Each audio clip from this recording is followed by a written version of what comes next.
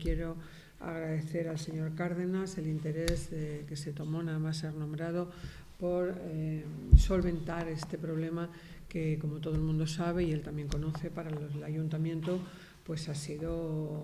un grave quebranto económico porque esas familias que nosotros tenemos realojadas y que le tenemos que pagar parte del alquiler,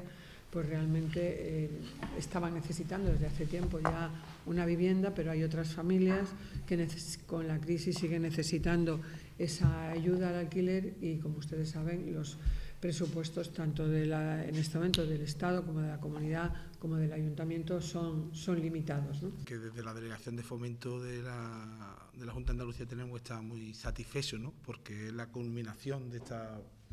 primera fase, de esta fase, como bien ha explicado la alcaldesa, de un, de un trabajo muy y de, la constatación de un elemento muy importante, como es eh, el casi o prácticamente culminar y posibilitar la entrega de 102 viviendas. Para que dentro de los objetivos que desde la Consejería